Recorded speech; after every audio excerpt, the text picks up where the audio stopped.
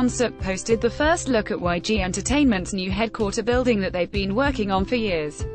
YG bought out the land next to their current headquarters in Mapogu. There were rumors that YG was planning to build a one-stop destination for everything K-pop in the said location. The overall shape of the building is a futuristic rectangular box with windows that make up a third of the walls. The inside will mirror the same feel from the outside, where it will feature sleek, grey, futuristic designs.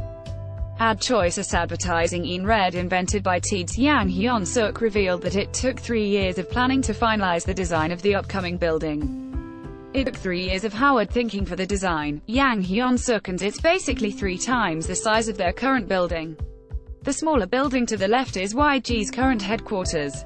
The new building will become YG Entertainment's new headquarters, which is set to open near July 2019 just in time for Big Bang to record their first album after completing their military services.